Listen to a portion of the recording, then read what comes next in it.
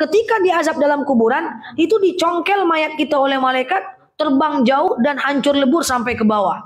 Masalahnya adalah apakah yang disiksa itu adalah ruhnya, jasadnya, atau jasad dan ruh tidak ada dalil yang menjelaskan.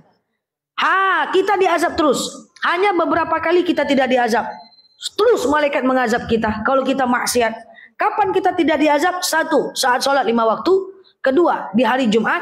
Ketiga, di bulan Ramadan. Keempat, saat hujan lebat. Selebihnya kita diminta pertanggungjawaban.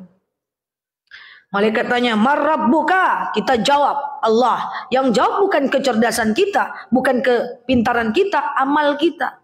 Jadi jangan nanti pas malaikat nanya, "Marabbuka?" Kamu nanya, jangan ya. Marabbuka? Jawab yang menjawab adalah amal kita. Oke? Nah, apakah masuk surga? Belum. Kita akan dibangkitkan namanya adalah padang mah mahsyar. Di padang mahsyar ini ada nanti namanya yaumul mizan. Yaumul